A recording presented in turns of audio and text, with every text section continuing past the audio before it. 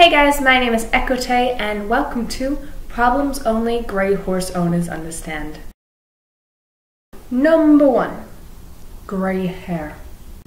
Unlike every other horse color, coat color, whatever, it seems that grey hair stands out the most, especially against your equipment and your there is nothing Clothes. worse than walking around knowing you are covered in grey hair. Like your chaps, your jodhpurs, your show jacket. It's just a horrible feeling. It doesn't matter if you wait till the very last second to put your show jacket on. There is no doubt it's going to get covered in grey hair. And that grey hair, I might add, you will be plucking out of your show jacket for the next year and a half.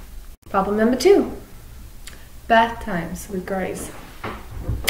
Pouring out of the wet ground to trying to drink out of the hose to just plain refusing to stand still while they're washed, it is guaranteed that at the end of bath time, you will be getting more saturated than your horse.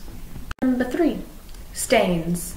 Every little stain possible, like every little mark, every little stain, is so visible on greys. And with that comes once again, like number two, the pressure to wash them.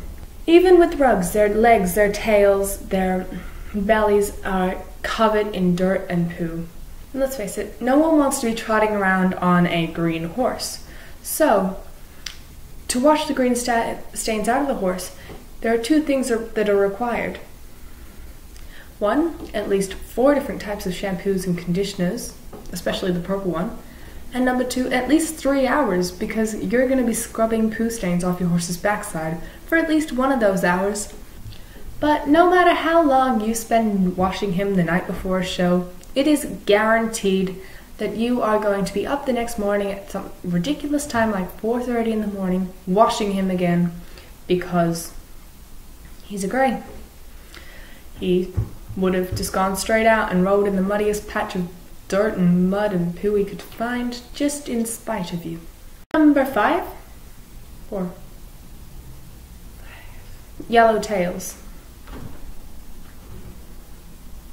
Do I even need to go into detail? I think that's enough said. So thank you for watching that video. If you liked it, be sure to click the thumbs up button so I know I should make more of these sort of... If you like me, or just sort of videos, make sure you click the subscribe button. That way you will be notified. I'm looking at myself, I should be looking up there. That way you will be notified whenever I make a new video. What color horse do you have? Let me know below in the comments.